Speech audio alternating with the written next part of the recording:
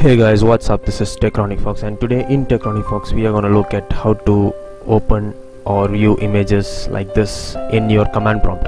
And if you guys don't know what a command prompt is, a command prompt is basically an application which is defaultly available in your Windows operating system where you can type in some commands and you can execute some work. So it's basically an interface between the user and an operating system. So that that's a command prompt. So in that command prompt we'll see how to open images like this. Before that you need an image. So i got an image here. Your image might like it may be in any format. For example it might be in .png format .jpg .bmp any format no matter what format is that. But here i'm gonna use an image with. dot .png extension okay?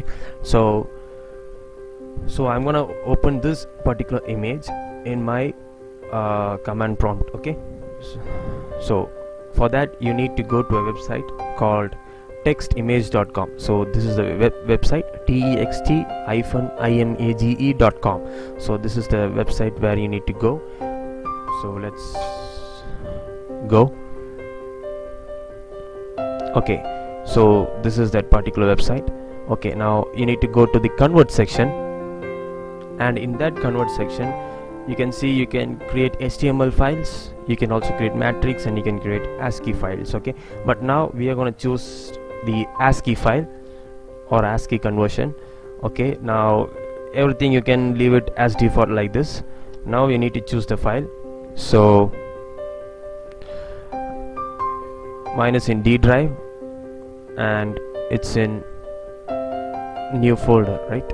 Yeah there it is okay so I'm gonna select my file. After selecting the file you can just give convert.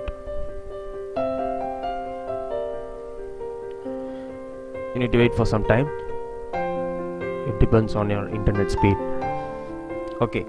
So the result is this uh, image. So my my normally my image was like my image was this one uh, which is .png extension and after conversion your image will look like this. Okay? Now select the entire image. Only the image. Then you need to click or you need to copy this image. Control C. Once you have copied the image you need to open up the notepad or any default uh, text editor you wish to do. Type the command what I'm gonna tell you now. So at first you need to type at echo of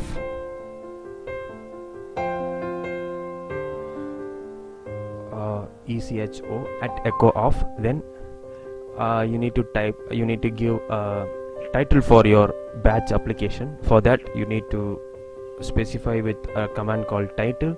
Then you need to give any title you want mine is Techronic Fox.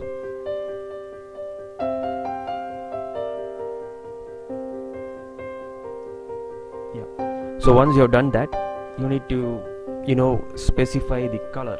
For that you need to type the command as color which is color. Then you can give for example I'm giving it as 0a so the first one is the background color which is 0 and a is the uh, your font color. So which means 0a means it's gonna print it in the combination of black and green which will give an effect of matrix you know matrix effect. So once you've done that then the next step is you're gonna copy the uh, image that you have selected from that website. So I have copied that image. Okay now uh, remember uh, to print something on the command or command prompt you need to type uh, echo. So this is the command to print something you want to you know display it in the application command prompt. Okay? So now let me like I'm gonna display like welcome to Techronic Fox.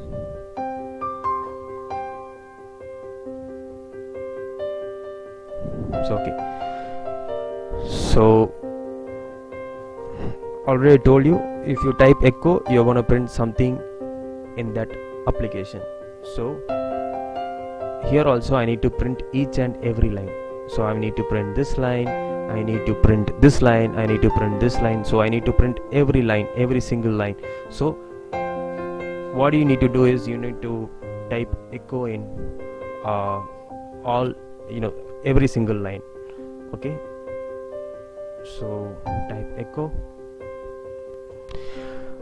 Alright guys. So after typing echo in every single line what you're going to do is you're going to uh, type pause at the last line PAUSE uh, you need to type this because only then your application will uh, stay on the screen for you know it will flash the image for some period of time.